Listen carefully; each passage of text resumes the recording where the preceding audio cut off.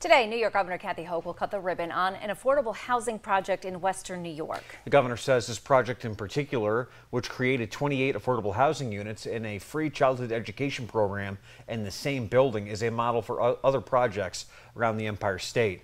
Elise Klein reports.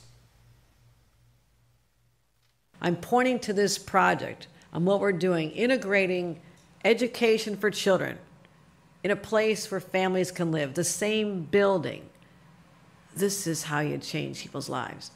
The governor stressed that Buffalo was just one of many cities in New York that for a time was a hub for affordable housing. But due to increasing costs in recent years, it is now one of many areas in the state struggling to provide affordable housing to its residents. The supply hasn't kept pace with the demand, and therefore prices go up. And that's the crunch we're in, not just here, but all over the state. Increasing costs in New York are largely due to inflation and limited availability of affordable housing units, especially for renters.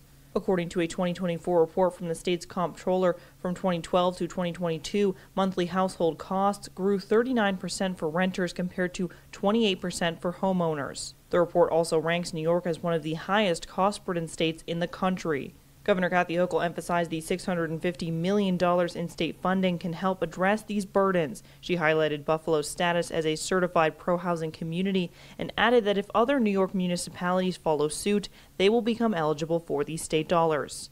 But communities had to step up, like the city of Buffalo did. Mayor, thank you. You're a proud pro housing community, a model for others to say that we're stepping up we're going to have targets. We're going to be able to look at zoning in a different way, create opportunities, but also be eligible for programs like this.